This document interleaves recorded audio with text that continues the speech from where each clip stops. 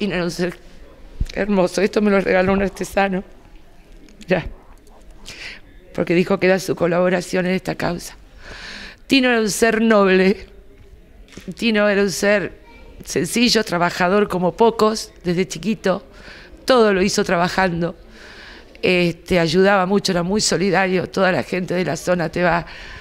De todo, de todo tipo de gente, pero sobre todo la gente muy humilde. Viene y dice Don Tino, lo que me ayudó Don Tino. Era, él ayudaba mucho a la gente para trabajar. A los vagos no le gustaba. Eh, era una persona hermosa, por dentro y por fuera, tenía ese, ese trastorno porque él no podía tener angustias. Por eso yo trataba que los 15 años y medio que, que estuve con él, este, siempre cuidando, o sea, problemas teníamos, pero eh, problemas digo que, que, pasa esto, que el dinero, que aquellos los problemas cotidianos, pero siempre todo tranquilo. Tenía un diagnóstico sí. de un profesional de la salud. Sí, y, y, y, estaba medicado, él tomaba litio y yo me ocupé todos mis 15 años y medio que tomaba el Terloc para la presión, con el cafecito todas las mañanas y, y el litio. Lo que no podía tener Tino era presión y todo empezó con el, los incendios, uh -huh. donde también ahí nos abandonaron. El peligro de las tomas, esas dos personas que se metieron el día anterior. Tino estaba descompensado, pero pero era verdad lo de las tomas. No teníamos alambre, no teníamos mangueras, no teníamos luz. La, su casa del incendio, eso fue así el 9 de pies quemados. Y con, con, los hijos y con, eh, con, unos amigos y dos motobombas.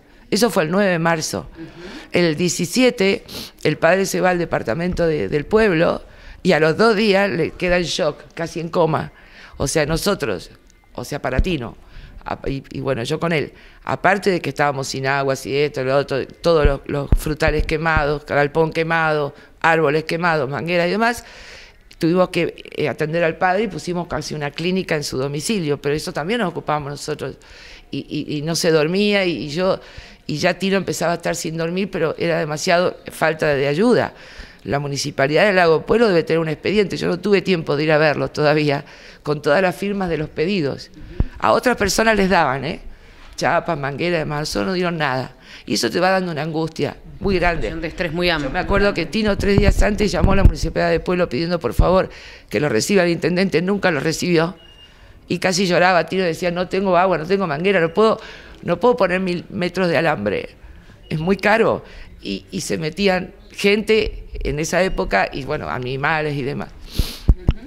Eso fue un poco lo que desató el día anterior, el 26, claro. la situación Los que él tuvo... El aire que tiró Tino cuando entraron esas dos personas.